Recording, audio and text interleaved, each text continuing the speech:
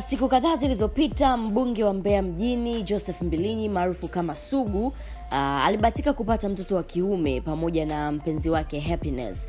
Na hivyo ameamua kumpa mtoto wake huyo uh, jina la shon uh, ikiwa na maana kuwa ni zawadi kutoka kwa mungu. Kupitia ukurasa wa instagram wa sugu ameweka wazi sababu nyingine ya kumwita mtoto wake shon ambapo amesema ni katika kumwenzi rapa wa marekani jz ambaye jina lake halisi ni Sean Carter aa, akiwa amevutiwa na upambanaji wake katika maisha hadi kufikia hapo alipo na mpaka hivi sasa uh, jz anatambulika dunia nzima kwa ujumla. Kupitia ukurasa wa instagram wa sugu uh, amepost picha akiwa amembeba mtoto wake wa kiume na akaandika caption inayosema tumempa mtoto wetu jina la shon joseph mbilini shon alafu akaweka kwenye mabano tamka shon lina maana zawadi toka kwa mungu a gift from god.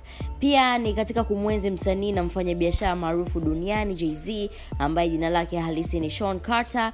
Hii ni kutokana na jinsi falsafa zake kuhusu hustling uh, zilivyonisaidia kufika hapa nilipo kwenye maisha. Asanteni sana. Alafu akahashtag jongwe akahashtag mvmp akahashtag misitu kabatini na hicho na hicho ndicho alichokiandika uh, sugu kupitia ukurasa wake wa instagram. Lakini sugu mpaka hivi sasa ana watoto wawili ambaye mtoto wake wa kwanza ni sasha.